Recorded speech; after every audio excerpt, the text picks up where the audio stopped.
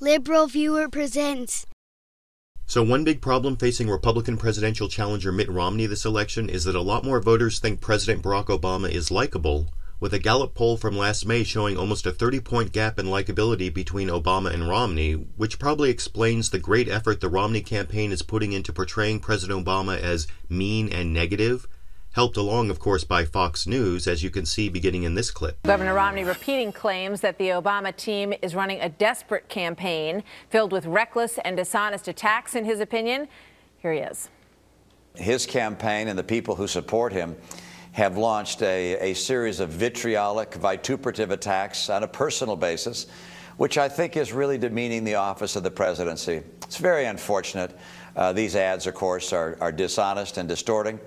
Uh, but their uh, degrading nature, I think, uh, diminishes the White House. Hmm, now, so far, this report isn't too bad in terms of bias, with Fox News anchor Martha MacCallum even pointing out what Mitt Romney said was just his opinion, but Fox News then immediately bolstered Romney's opinion with a clip of the opinion of Fox News' senior political analyst, Brit Hume, from the night before here. This is about as ugly as I've seen it get, and, um, and I've covered a lot of campaigns.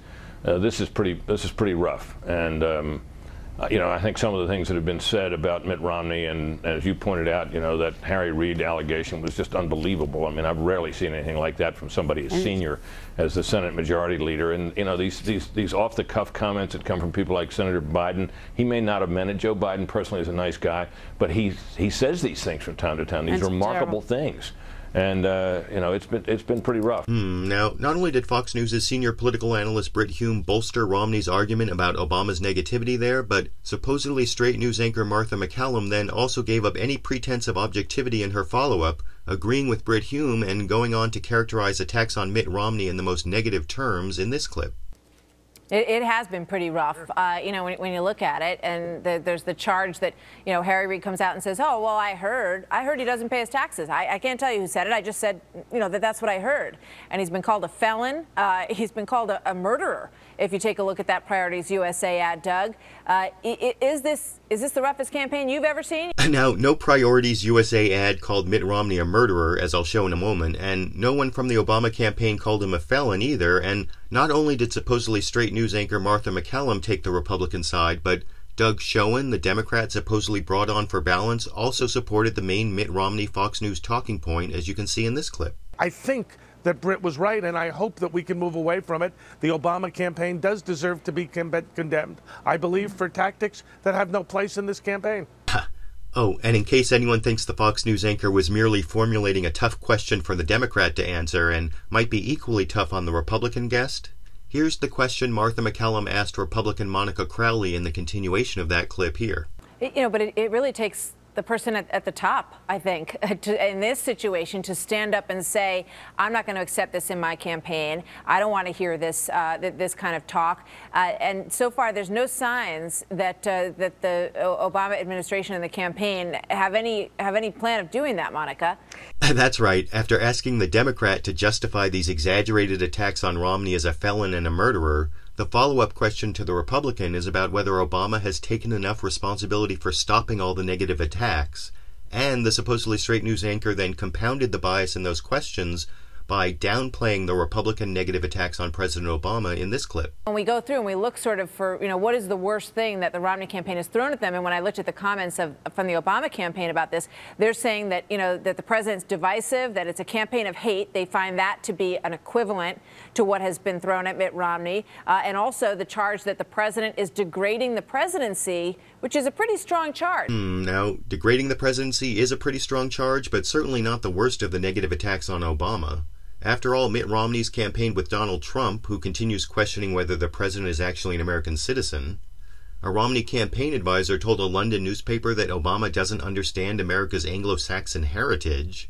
And also with a racial subtext, Mitt Romney is personally approving dishonest ads claiming President Obama is taking the work requirement out of welfare.